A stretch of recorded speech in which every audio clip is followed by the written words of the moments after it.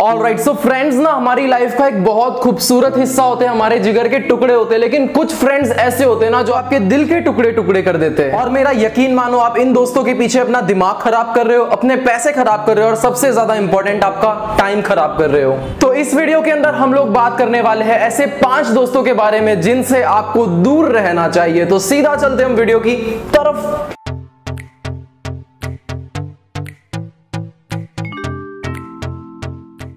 और बार बार मैं इनको दोस्त दोस्त कह रहा हूँ लेकिन एक्चुअली ये दोस्त कहने के लायक नहीं इन्हें हमें फेक फ्रेंड्स कहना चाहिए। फेक फ्रेंड नंबर वन कुछ इस टाइप के होते हैं। हेलो अरे यार मैं तेरे घर के यहाँ पे ही खड़ा हूँ एक छोटी सी प्रॉब्लम है यार। तू आ सकता है क्या थोड़ी देर के लिए बाहर? अरे यार भाई मैं तो मूवी देखने आया हूँ यार। कुछ अर्जेंट है तो बता तू। मैं तो अभी आ नहीं पाऊँगा यार सॉरी यार। मैं बाद में देखो मिलता हूँ कल आके। भाई, एक छोटी सी हेल्प चाहिए थी यार। लास्ट मंथ मैंने देखो पाँच हज़ार रुपए दिए थे को याद हो तो। अरे, मेरे को उसमें से तू खाली दो तीन हज़ार तेरे पास हो तो मेरे को देना यार, कल मेरे को एक्चुअली डैडी को दिखाने जाना है हॉस्पिटल तो मेरे पास अभी कैश नहीं है इतना अवेलेबल अरे भाई, मैं तो कल रात को ही वैष्णो देवी निकल गया यार। मैं तो यहाँ पे हूँ ही नहीं। मैं तो वैष्णो देवी हूँ भाई। मेरे को कम से कम लग जाएँगे दो तीन हफ़्ते आते आते बाद में मिलते हैं ना अपने आराम से। तीन चार हफ़्ते में आता हूँ मैं। लोगों ने अपने ऐसे फ्रेंड की बहुत बार हेल्प की होगी लेकिन जब आपको ज़रूरत पड़ी, वो लोग वहाँ पर नहीं थे। उनके बहाने ज़रूर थे। ये वाले जो फेक फ्रेंड्स हैं ना, ये लोग बातें तो ना बहुत बड़ी बड़ी करेंगे कि मेरे भाई तू 12 बजे फ़ोन कर, तेरे को जो हेल्प चाहिए, आधी रात को फ़ोन कर, मैं ये कर दूँगा, वो कर दूँगा। असलियत में पता है क्या है? इनको दोपहर को 12 बजे फ़ोन करूँगे ना, ये दोपहर को भी नहीं उठाएँगे फ़ोन और बोलेंगे, भाई, मैं कहीं बिज़ी हूँ। जब भी आपको इनकी ज़रूरत पड़ी, ये हमेशा बहाने बनाते रहे कि, भाई, मैं यहाँ पे नहीं हूँ, मैं वहाँ पे नहीं हूँ। अरे मैं तेरे पास होता ना भाई तो तेरा काम ऐसे कर देता, लेकिन मैं सिटी में ही नहीं हूँ। ज़रूरत के वक्त काम ना आए ना, ऐसे दोस्त से दोस्त ना होना ज़्यादा अच्छा है। दूसरे फेक फ्रेंड वो आते हैं जो आपको बताते नहीं है, लेकिन अंदर से ना आपसे बहुत ही ज़्यादा जलते हैं वो। एग्ज़ाम्पल दू, कुछ ऐसे होते हैं ये फेक फ्रेंड्स भाई कभी मन के वीडियो देखे क्या बकवास वीडियो बनाते हैं? बिना हाथ पैर, बिना सर पैर के, पता नहीं क्या कर रहा है, पागल इंसान है। अरे काय के छह लाख फॉलोवर खरीदे होंगे, बेसाली ने फेक खरीदे होंगे, छह लाख लोग फॉलो करते होंगे क्या उसको? देखिए उसकी शक्ल देखिए कभी जाके छह लाख लोग फॉलो करे, ऐसी है। ऐसे दोस्त ना आपको लाइफ में कभी आगे बढ़ता हुआ देख नहीं सकते। इनको ना ईर्ष्या हो जाएगी आपसे। आप आगे बढ़ोगे तो ये कोशिश करेंगे आपको वापस खींच के पीछे लाने की। ये लोग ना आपके पीठ के पीछे आपकी बुराइयाँ करते ही जाएँगे, करते ही जाएँगे। ऐसे दोस्त रखने से अच्छा है, आप एक सांप पाल लो, क्योंकि ऐसे दोस्त से आप उम्मीद रखोगे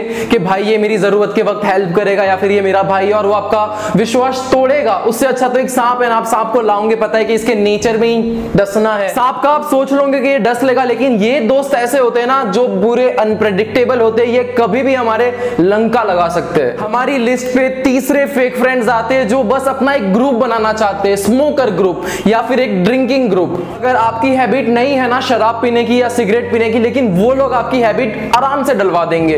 अरे यार, तेरे भाई की कसम दो सुट्टे मार ले, अरे यार, तेरे भाई की कसम दो पैग मार ले, अरे भाई ये कर ले, वो कर ले। अगर एक सच्चा दोस्त कोई एडिक्शन में फंस गया होता है ना तो वो दूसरे दोस्त को कभी नहीं बोलता है कि भाई तू ये चीज़ कर। लेकिन ये लोग कैसे होते हैं? ये लोग स्मोकिंग करते वक्त बोर ना हो जाए ना, इसीलिए अपना ग्रुप बड़ा बनाना चाहते हैं। और एक टाइम ऐसा आ जाता है जब आप अपने उस दोस्त से ज़्यादा सिगरेट पीने लग जाते हो या फिर दारू पीने लग जाते हो, और आपके माँ बाप परेशान होते हैं, वो चीज़ तो पूरी अलग ही है। तो अगर ऐसा कोई भी फ्रेंड आपको आके बोलता है ना सिगरेट पी ले मेरे साथ, दारू पी ले, ये कर ले तेरे भाई की कसम, ऐसे दोस्तों को बोलना निकल पहली फुर्सत में निकल।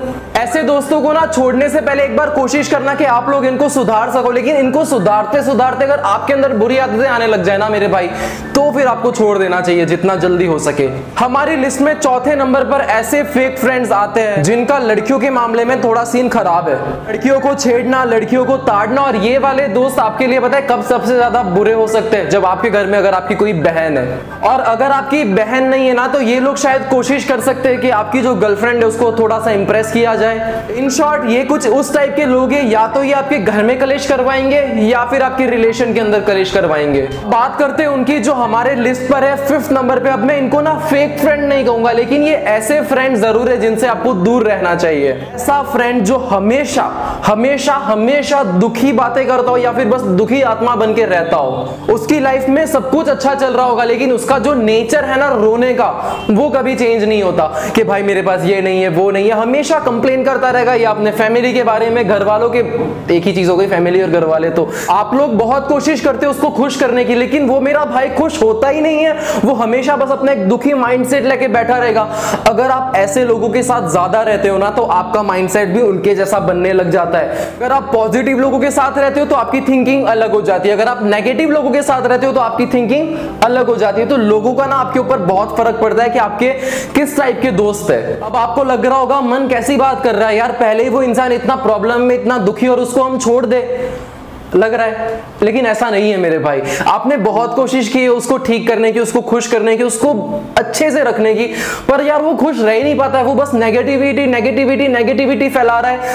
आपसे भी बहुत सारे लोग जुड़े हुए और जब आप नेगेटिव हो जाओगे ना, तब वो सारे लोग भी अपसेट हो जाएँगे। मैं इसीलिए कह रहा हूँ कि ऐसे लोगों से दूर हो जाओगे तो आपकी पर्सनैलिटी पे कोई बुरा फ़र्क नहीं पड़ेगा, वरना आपके पीछे और भी बहुत सारे लोग हैरान होंगे। ये है वो पाँच टाइप के फ्रेंड जिनसे आपको दूर रहना चाहिए। कॉमेंट में ज़रूर बताना अगर आपका कोई ऐसा दोस्त है या फिर कोई इन पास्ट ऐसा कोई दोस्त था?